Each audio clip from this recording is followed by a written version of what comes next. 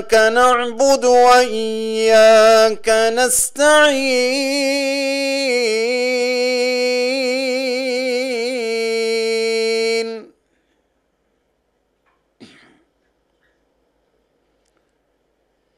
اهدنا الصراط المستقيم صراط الذين أنعمت عليهم. اهدنا الصراط المستقيم صراط الذين أنعمت عليهم. غير المغضوب عليهم ولا الضالين.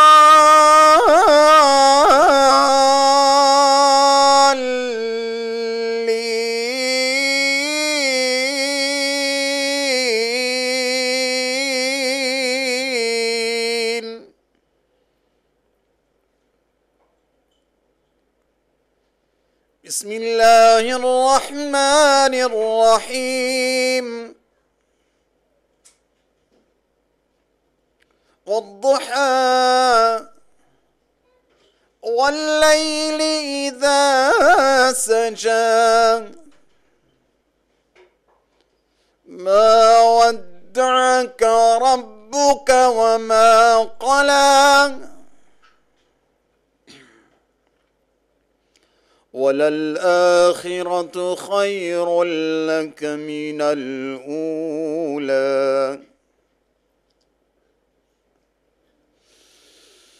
والضحى والليل إذا سجى ما ودعك ربك وما قلى وللآخرة خير لك من الأولى.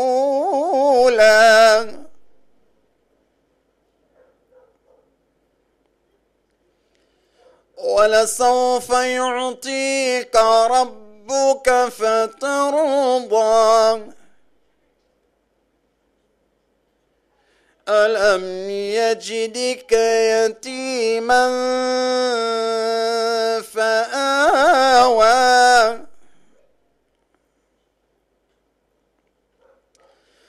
ووجدك ضالا فهدى ووجدك عائلا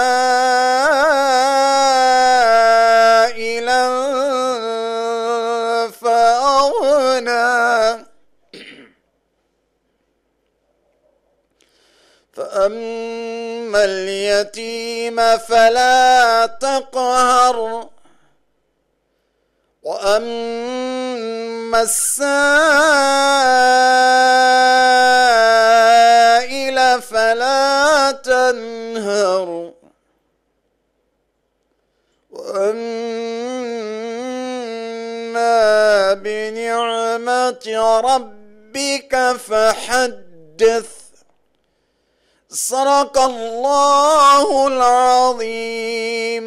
بسم الله الرحمن الرحيم الحمد لله رب العالمين والصلاة والسلام على سيد المرسلين مولانا محمد وعلى آله وأصحابه ومن تبعهم بإحسان إلى يوم الدين أما بعد our respected brothers sisters elders السلام عليكم ورحمة الله uh, Qari Sultan is kind of uh, I overdone it with my introduction actually being in uh, their company was pleasure for myself alhamdulillah A couple of days I stayed in Trinidad. Mashallah, brothers were beautiful. Uh, the place is beautiful.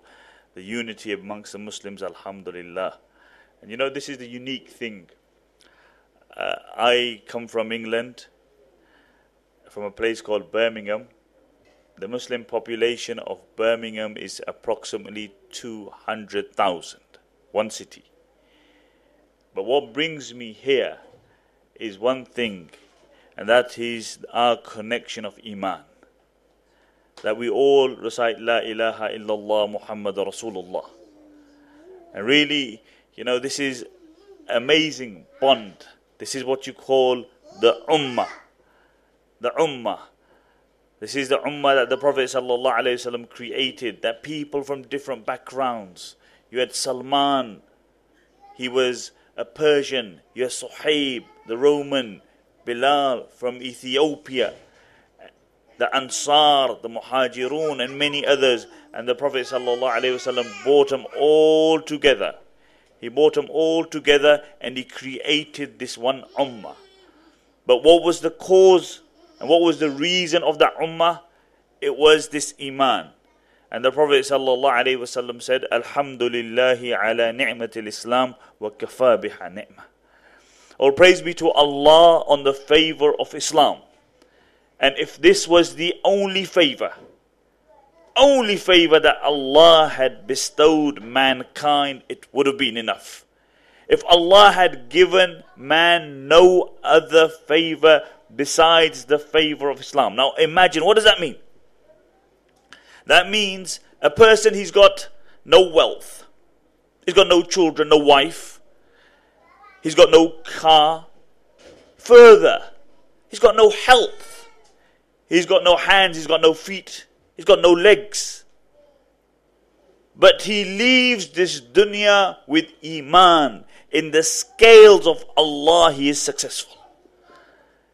And if he has the wealth of Fir'aun, Pharaoh, sorry, wealth of Qarun, strength of Fir'aun, but he leaves this dunya without iman, without believing in Allah subhanahu wa ta'ala, then he in the scales of Allah is unsuccessful.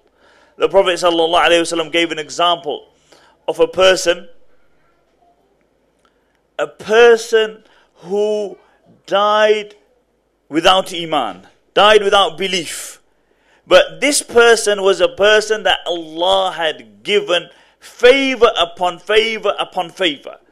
The Prophet ﷺ said, Nobody else was given dunyawi, materialistic favors like this person was given. Nobody. Can you imagine? This guy had everything. You know, the riches that you can imagine. He was happy, he had beauty, everything that you can imagine this person had. The Prophet ﷺ said that nobody else was given the favors like this person was given. But the Prophet ﷺ said that he would have died on disbelief. And Allah subhanahu wa ta'ala, when he stands in front of Allah on the day of judgment, Allah will say, Enter him into enter him into the fire of Jahannam, enter him into the hellfire for a moment. In, out, dip out. And that's what they will do. The angels will take him to the fire, they will enter him into the fire, and they will bring him out. And then he will be brought in front of Allah. And Allah will ask him, Tell me, did you, compared to that one moment in Jahannam, did you experience any moment of pleasure, luxury in the dunya. And he will say, By you, O Allah, I had I experienced no luxury, no pleasure in the dunya. On the other hand, the Prophet ﷺ said that there will be a person who will be brought in front of Allah. Nobody after the Anbiya ﷺ, after the prophets, would have been tested like this person. Nobody. Can you imagine? Being tested, you can't imagine. No exaggeration. You know, a few years ago, I was in uh, Gaza, in uh, Palestine, Gaza, and this was after the uh, bombing. And we met a man. This man, he had six daughters. Six daughters. And the bomb hit his house. Everybody became unconscious. And the father says, I woke up and I was looking for my daughters. Out of those six daughters, five died. He said, I removed the rubble. He said, My eldest daughter was very loved in the area. She was a very loving person. Every night she would go to sleep with her arms around her two younger sisters. Every night.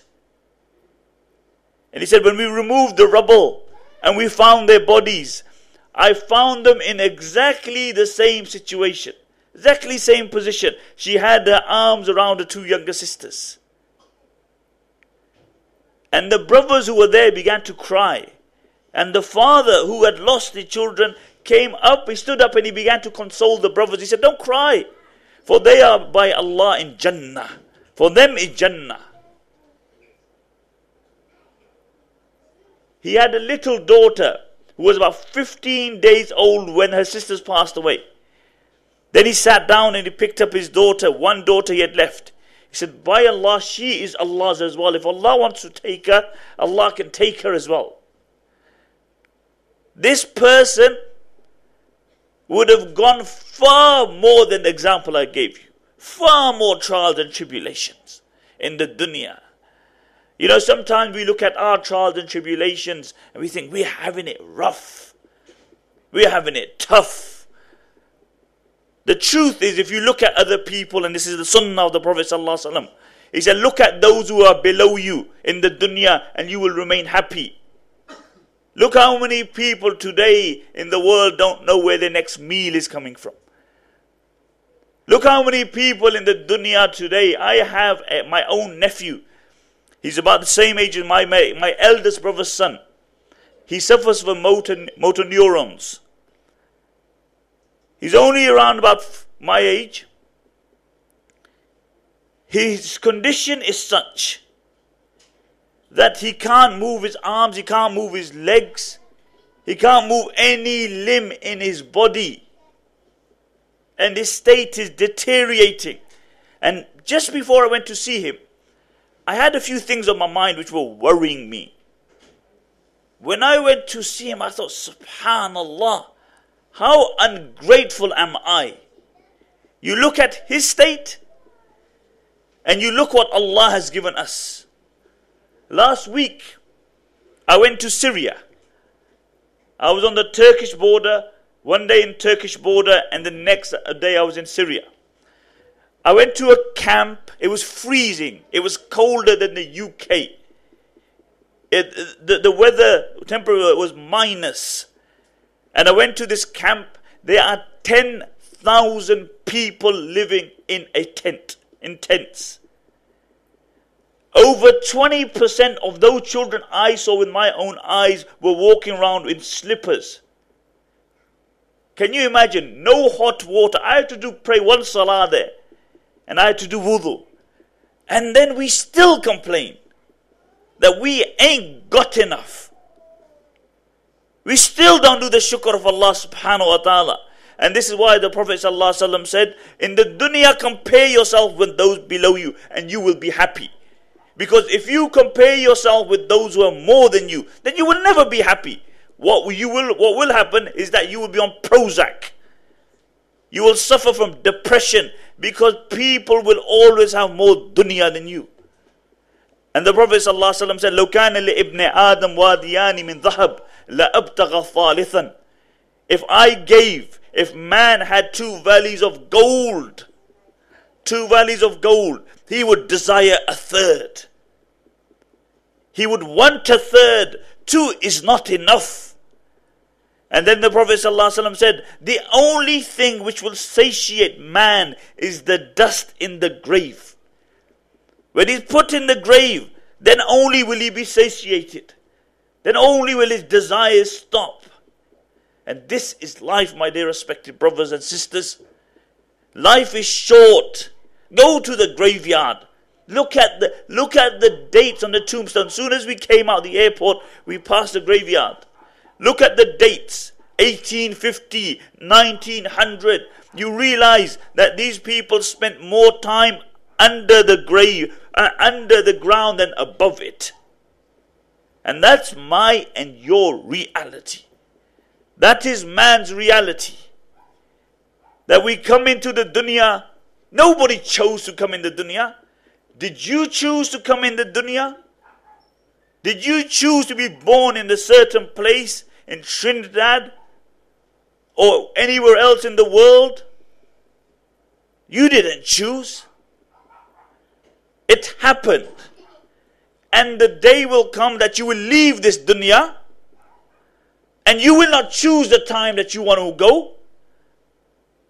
There's no visa that you apply for. My time, I want to go now to Jannah. No visa. It comes. And it comes all of a sudden. And you leave the dunya involuntarily. You came involuntarily, you leave the dunya involuntarily. So, what makes you think that you have any right over the period in between? That period, Allah brought you to dunya and Allah will take you one day. But Allah gives you this short period of time. Because Allah wants to see what my servant will do with the life I gave him. Will he remember me? Will he turn towards me? How will he spend his life? Or will he just follow his whims and desires? Will he just follow his whims and desires? And this is a question that we need to ask ourselves.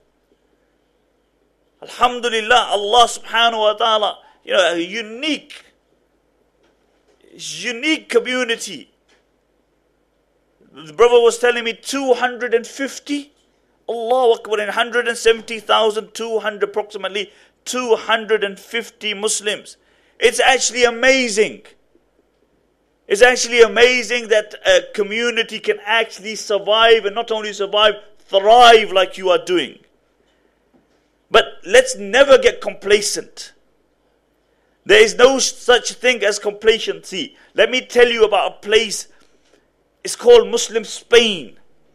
Muslim Spain was the most progressive society on the face of this earth. There were thousands of masjid in Qurtaba. There were thousands of there was they were so progressive that the entirety of Europe would follow them.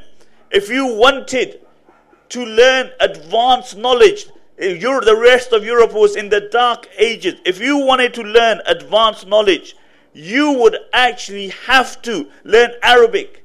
Even the non Muslims learned Arabic, they learned poetry to a very high level because it was fashionable to follow the Muslims. They would dress like the Muslims, they would act like the Muslims. And for those who know about scholarship, you had people like Imam Qurtubi, Ibn Hazm, Ibn Arabi al Maliki, Ibn Sina, and a whole many, many others. But where are they today? Where is Muslim Spain? I take a group every year to Muslim Spain, well, to Spain, Andalus, and I show them around Andalus. Where is that legacy? Where is that most advanced community on the face of this earth? It doesn't exist. Why? Because people became complacent. And Allah subhanahu wa ta'ala says, لا تكونوا كالذين نسوا الله فأنساهم أنفسهم. Don't be like those who forgot Allah and Allah made them forget themselves. They forgot Allah and Allah made them forget themselves. Their existence no longer, the, the books of the scholars are there. But where's their families? Where's their families? And this is why, my dear respected brothers and sisters, Alhamdulillah, you know, Allah subhanahu wa ta'ala, mashallah, has given this, you this unique opportunity, a unique community. But for, for, for it to thrive, we need people of actions. We need people who will learn about their deen, who will be serious about their deen. Allah subhanahu wa ta'ala says in the Quran, Ya ayyuhalladhina amanu aminu. O you who believe, believe. How is that possible? Either you're a believer or you're a non believer. And Allah saying, Oh, you believe, believe. How is it possible? Either you believe or you don't believe. See, let me give you an example, maybe you'll understand. See, you have a guy who's a bit feminine. You know, he's, he's got feminine characteristics. He's not strong, he's weak. So you say to him, Bro, be a man, man up. He's already a man. What are you telling him? You are telling him, Be a real man. And this is what Allah is saying. He said, Oh, you who believe, become true believers. Have a strong belief. Have a solid belief. An unshakable belief. But an unshakable belief comes with effort. It comes with sacrifice. It comes with waking up for the Fajr Salah. It comes with reading the Quran. It comes with calling other people towards Allah subhanahu wa ta'ala. It becomes, it comes with making Allah your priority in life. That's where it comes from.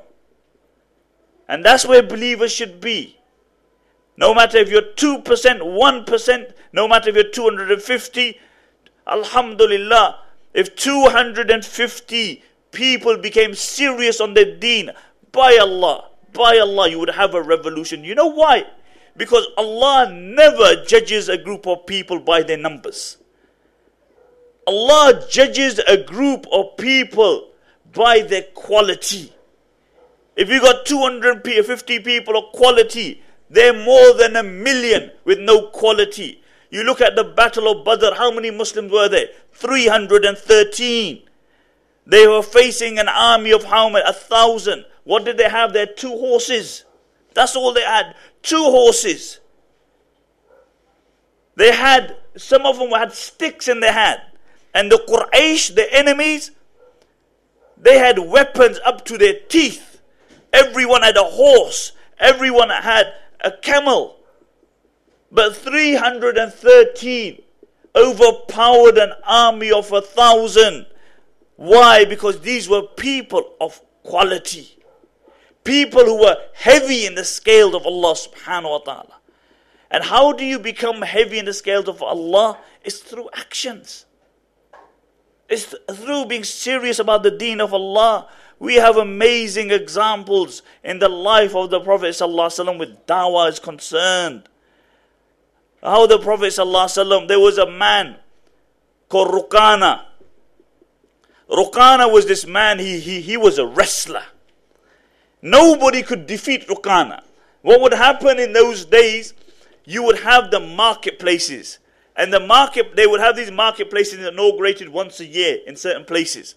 All the wrestlers of that vicinity would come and they would wrestle with each other.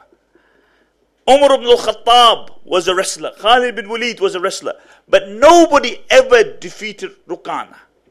Rukana was the undisputed wrestler amongst the Arabs.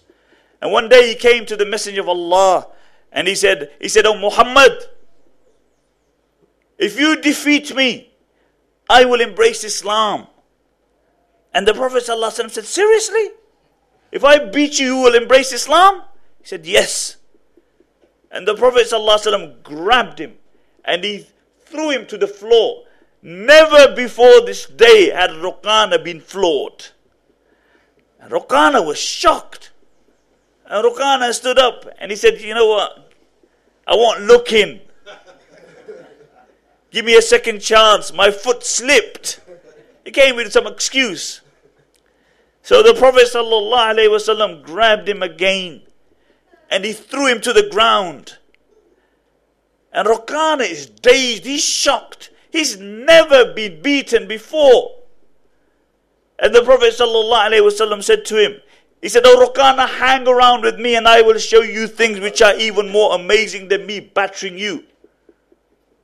But look at this example. You had Rahmat lil Alameen. You had the greatest of creation, sallallahu alayhi wasallam. But he was ready to wrestle with people to bring them towards Allah subhanahu wa ta'ala. We find it difficult to speak to people. He never thought it was beneath him. Why? Because he had a fikr. He had a concern. He knew if anybody left without iman, this, this would be his outcome. This would be his outcome. And he had this concern. So the Prophet ﷺ said that the person who would have been tried the most, no person before this person would have been tried as much as this person. And Allah, but he would have died on Iman. Allah subhanahu wa ta'ala will command the angels, take, take my servant into Jannah for a moment. And they will take him into Jannah for a moment. In, out, dip out. And he will be brought to the Prophet sallallahu. And the Prophet sallallahu said, will ask him, can you, did you experience any trials and tribulations? Any difficulty in the dunya? And he will say, Oh Allah, in comparison to that one moment in Jannah, I experienced no difficulties in the dunya. My dear respected brothers and sisters, we are people who work for the afterlife. That is our aim and that is our ambition. Obviously, we work in this dunya we make a livelihood, you know, alhamdulillah, halal earning, but we do the tarbiyah of our children. In small communities, the tarbiyah of the children, the nurturing of the children is the most important thing. Because if you don't give them Islamic knowledge and you give them everything else, if you don't give them good nurturing, you give them everything else. The truth is, you've given them a raw deal. Because by Allah, on the day of judgment, the only thing which will count is your actions. Is your actions.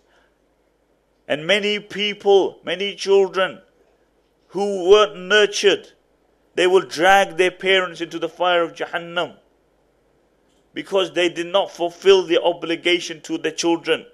A man, a man came to Umar ibn al-Khattab radiallahu anhu and he said, Oh Umar, oh O Mirul Mu'mineen, my son, is rude. Speak to him. So Umar radiallahu anhu was Umar. He began to scold him. And the boy said, Oh Mirul Mu'mineen, can I have a word? Let me say something. So Umar said, Say. He said, What? When a person marries what is the right of the child? He asked, What is the right of the child? And Umar anhu said, The right of the child is that when a person marries, he marries a pious woman. He marries a pious woman so that woman can do the tarbiyah. She can nurture that child. She can bring him up in an Islamic environment and vice versa. When a woman looks for a husband, she looks for somebody who is pious. So he said that he looks for a pious wife. And also, when the child is born, he gives the child a good name. And thirdly, he nurtures that child, he gives that child a good Islamic education. And the child turned to Umar and he said, oh, O Mirul Mu'mineen, my father married a woman who from a tribe who were known for their lewdness. And he gave me a name which meant spider. And as far as Islamic education, he gave me no education. And Umar radiallahu anhu said, he said, he turned to the father, he said, You broke ties with your son before he broke ties with you. You know, we are all, we all get upset, and we should. We all get upset when our children don't listen to us. And we complain, What kind of child are you? I bought you up. I spent on you. I cleaned your nappy. But if Allah, but if the tables were turned, we got to look at our own lives. How are we towards Allah subhanahu wa ta'ala? Day and night, we transgress the laws of Allah subhanahu wa ta'ala. Day and night, day and night, we eat the rizq of Allah, but we transgress His laws.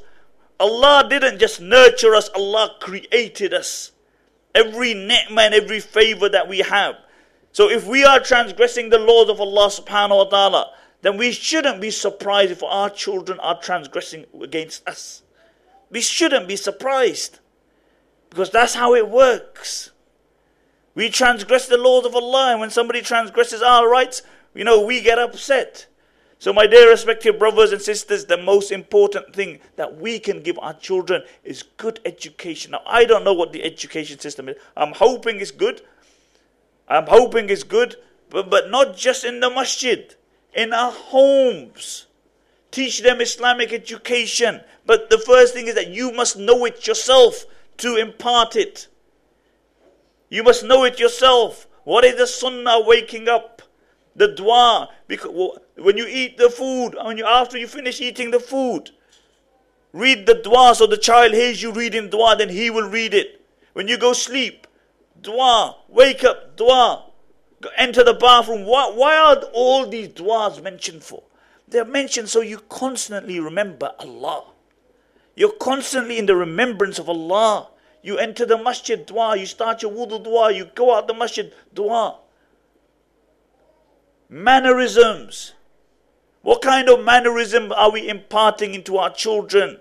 But the truth is that many times children will take the manners of their parents. The Prophet ﷺ said, أكمل المؤمنين إيمانا أحسنهم خلقا Those believers who are the most perfect in their iman. The perfect in their belief are those who have the best character, who have a good character. Muslims are meant to be people who are radiant in their character. Muslims are meant to be people who are different. They are meant to be different because we had a Prophet ﷺ who was different. He taught us teachings, Islam, which was different.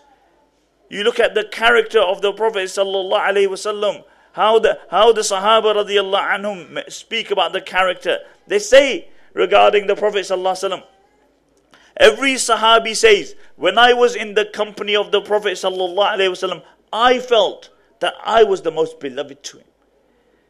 I felt that I was the most beloved to the Prophet ﷺ. They say when we would when he would speak to him, he would turn around, face us. There was no man who was more busier than the Messenger of Allah. He had the responsibility of humanity upon his shoulders. But when he would speak, he would turn fully. They say when we would shake his hand, he would not pull his hand back until we would release his hand. Amr ibn al-As radiallahu anhu says that one day I was in the company of the Messenger of Allah sallallahu wasallam and he showed me so much love that I felt that I was the most beloved person to the Prophet sallallahu wasallam. So I asked him, I said, O Messenger of Allah, am I better than Abu Bakr? And the Prophet sallallahu wasallam said, no. He said, O Messenger of Allah, am I better than Umar ibn al-Khattab? And the Prophet sallallahu wasallam said, no. Said, O Messenger of Allah, am I better than Uthman ibn Affan? And the Prophet said, No. And Amr ibn As radiallahu says, I regretted asking the Messenger of Allah this question. But he says that the love that the Messenger of Allah afforded me, the love that he showed me, was such that I felt that I was the most important person. And my dear respected brothers, you know, this is what makes Muslims special. Alhamdulillah, we all pray our salah. Alhamdulillah. Because we should pray our salah. Because Umar ibn al-Khattab radiallahu anhu said, you know, Umar was passing away. You know the story of Umar ibn al-Khattab. Umar was leading the salah and somebody stabbed him. Abu Lu'lu stabbed him. And Umar is falling to the floor. He's falling to the floor and he grabs the hand of Abdul Rahman ibn Auf and he makes him stand on the prayer mat. Even in that state, he makes him stand on the prayer mat. And Abdurrahman ibn Auf finished the Fajr Salah quickly. And then they turn to Umar ibn al-Khattab. And it's long, I'll make it brief. And Umar ibn al-Khattab radiallahu anhu says, he says, he become unconscious. And then he gains consciousness. And then he says, first question, he said, have the believers completed their prayer? And he, they said, yes, Amir al-Mu'mineen. And Umar anhu said, good.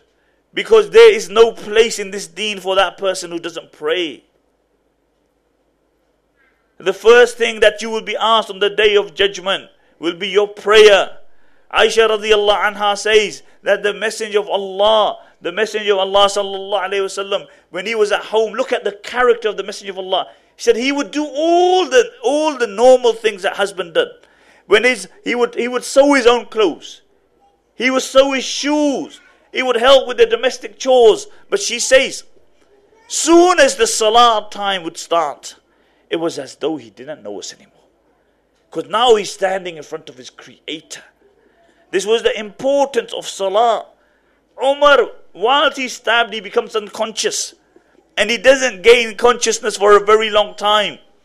And somebody said, if give the adhan, I swear by Allah, if he has an iota of life left in him, when he hears the adhan, he will respond. And they give the adhan. And no sooner do they give the adhan, Umar anhu comes around. This was the importance of salah. But the truth is, your salah is between you and Allah. Your salah is between you and Allah. Nobody outside is interested in your salah. Your fasting is between you and Allah. But character, the way you behave as a Muslim, the way you hold yourself, that is what people want to see. They want to see the character which they read or they heard about in the seerah of the Prophet. That is a difficult thing in all honesty. To remain with an upright character is not an easy thing.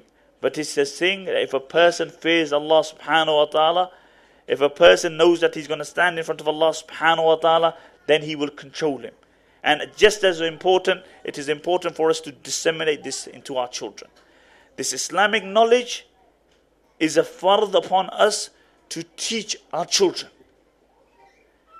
If we could give them everything else, everything, you give them a PhD, you give them a Ferrari, you give them a house on the beach, but you deprive them of deen, then you have given your children a raw deal. One of our teachers, Sheikh Abul Hassan Nadwi, rahimahullah, he gives this example, and it relates well on being on such a beautiful island like this. He says there's a few young uh, men who go on a holiday, educated young men. So they take a boat and they go out fishing. And whilst they're going fishing, they meet this fisherman. And they say to this fisherman, old man, they say to him, said, Oh, old man. They want to have a laugh with him. They said, oh, Old man, do you know anything about algebra? And the old man said, Algebra? Never heard of it. Never heard of it. They say to the old man, they say, Old man, do you know anything about geography? Do you know where London is? He said, Old man said, Geography, all I know is from my house, from my house to my sh- uh, boat, and then out again to the sea. That's all I know. He said, "Oh man." One of them, another one said, "Oh man, you know anything about English?" He said, "Ah, English. I know a bit of English." He said, "English." He said, "I go, you go, Glasgow." Said, English, I know. So one who was a bit more cheekier than the rest, he said, "Old man, indeed." Old man, indeed, you have wasted a great portion of your life. So the old man's upset. He goes away. Later on, they are afflicted by a storm. And all these young men are sitting in the boat and they're shaking. And the old man comes past. And the old man turns to the young boys and he sees them in the boat, they're shaking. He says to them, most likely they came from a place like London, you know, they, they weren't brought up on a, mashallah, beautiful island like yours. The first time and the only time I, subhanAllah, heard of the island, St. Lucia, yeah? Was that one of my friends came to play cricket here.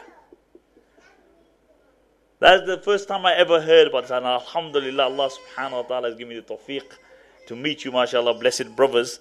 So they say, he says to them, he says, Young man, do you know anything about swimming? And they say, No. So he says to them, I may have wasted a great portion of my life, but you have wasted your entire life. Because the only thing which counts is here is if you can swim or if you can't swim. And by Allah, the only thing on the day of judgment, the only thing which will count is your actions. And if you have given your children everything, but you did not give them good actions, good tarbiyah, good nurturing, good Islamic knowledge, then you have given your children a raw deal. As far as how your children come out, that is not in your hands. You try your best. You try your best. That's it. Uh, you, we have children of the Anbiya, the prophets, which went astray.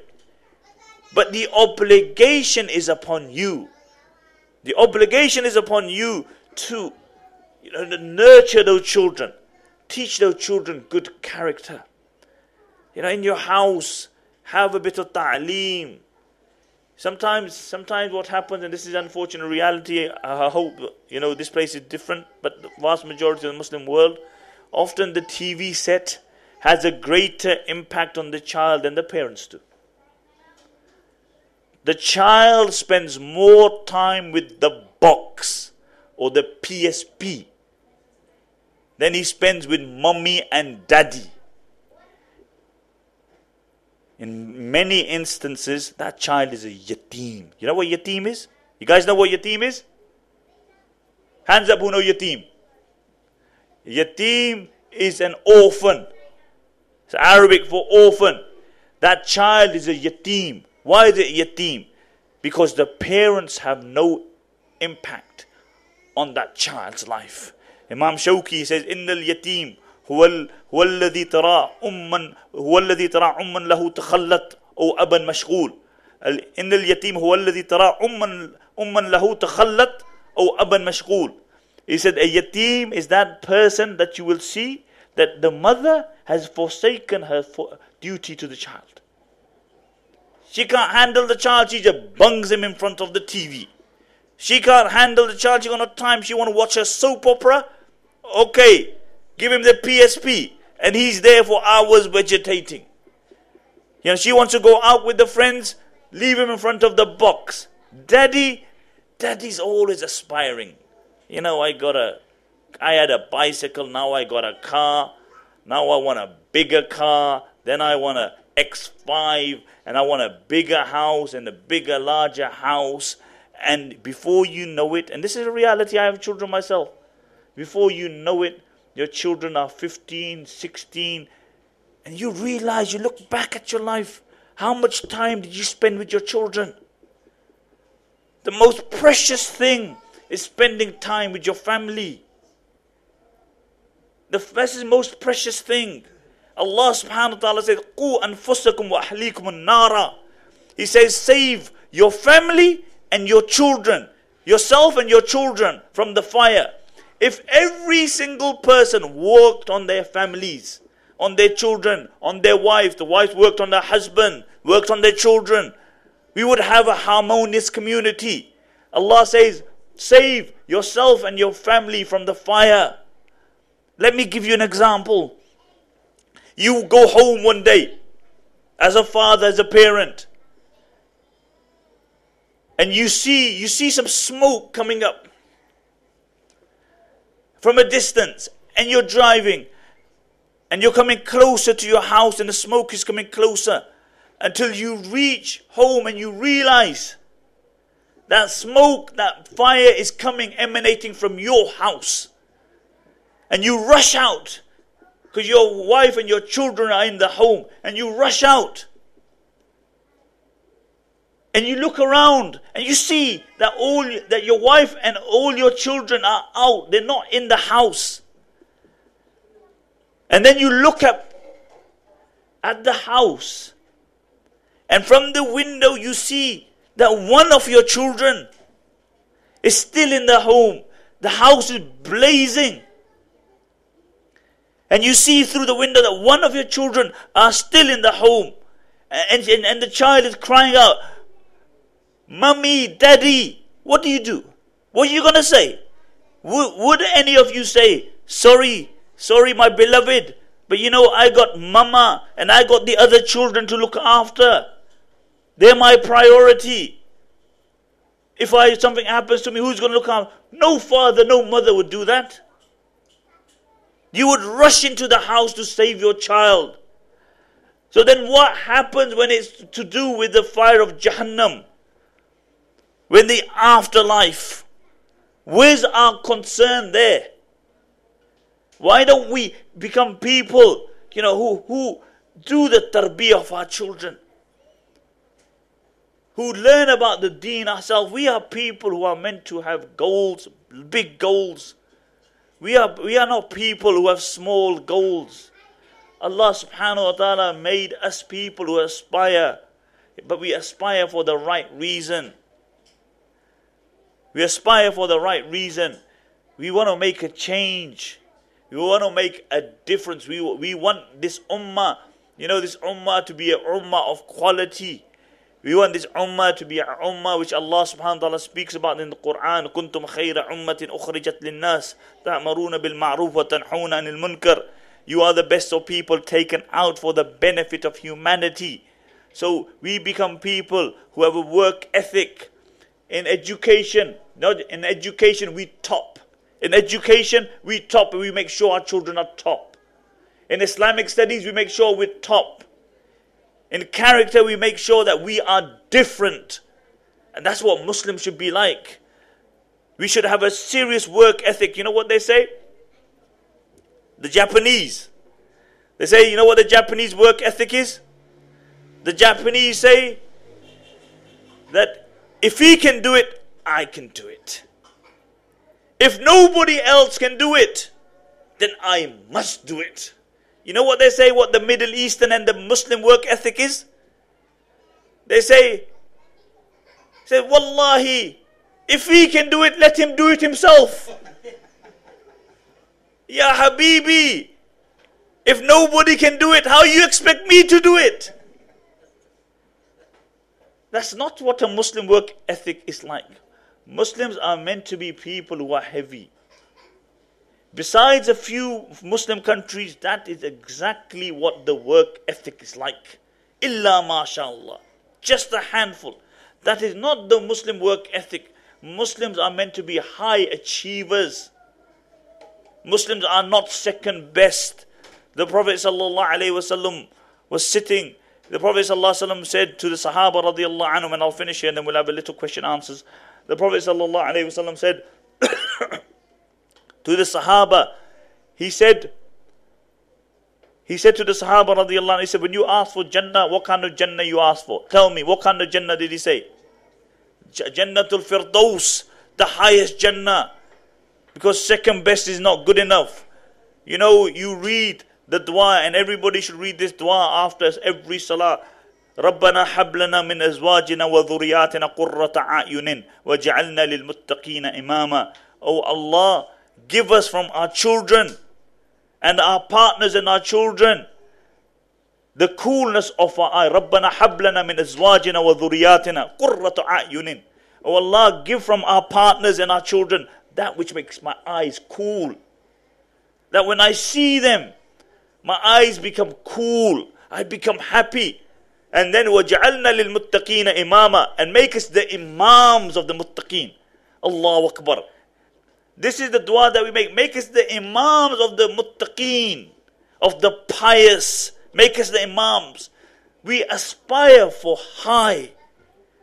Our aspirations as believers are meant to be high aspirations. You know this dua, رَبَّنَا حَبْ لَنَا مِنْ أَزْوَاجِنَا وَذُرِّيَّاتِنَا Oh Allah, give us from our partners that which is the coolness of our eyes uh, and from our partners and children. My wife said she been reading this dua since the age of 12. Since the age of 12, after every salah, she used to make this dua. Allah, give from my husband that which is the coolness of my eyes. I said, listen, that's one dua which Allah didn't accept because you got me as a husband.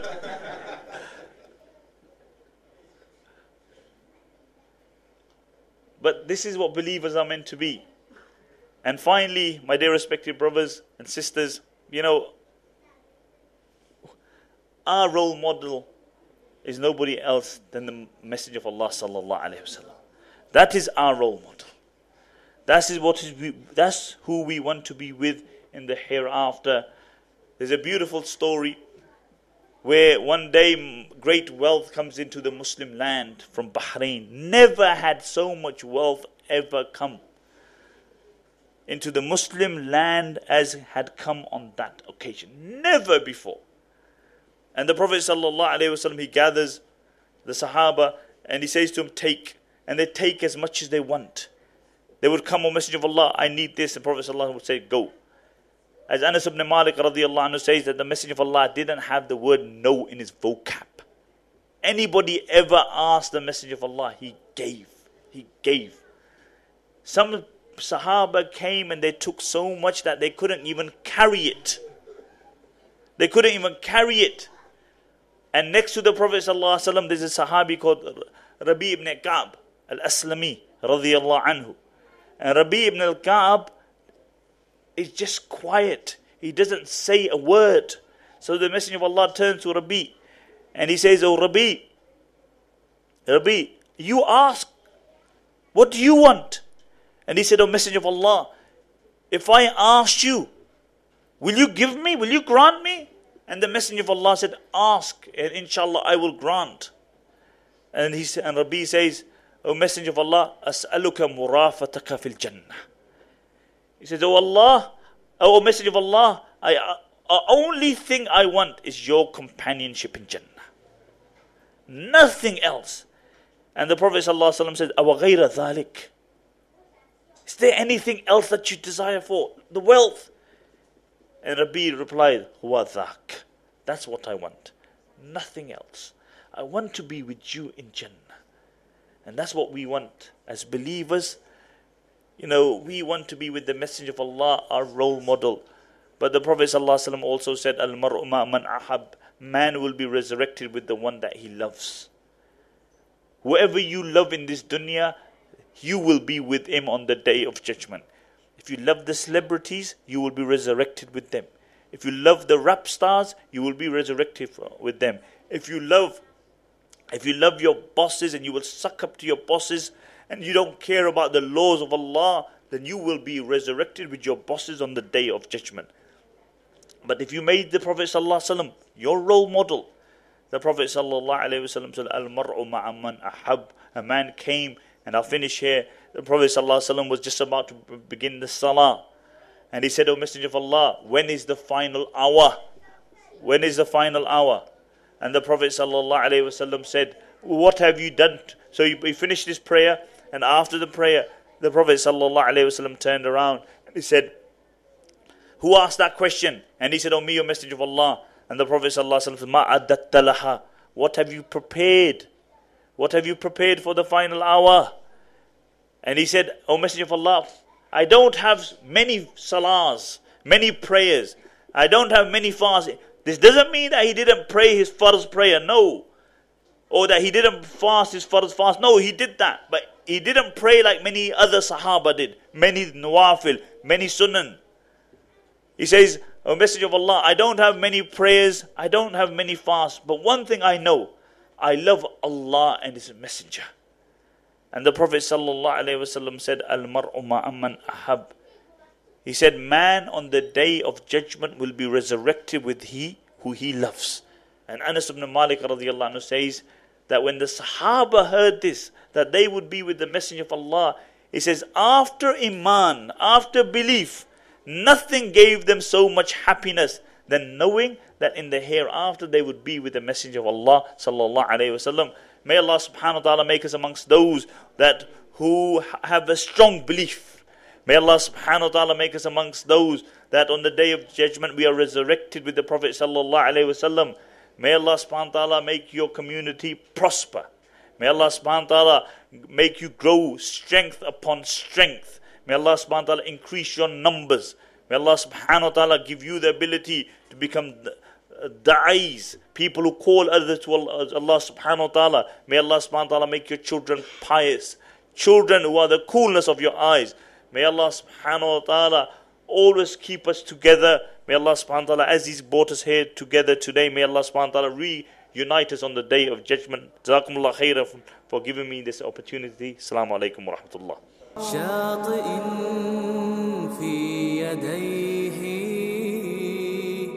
كفارة للخطايا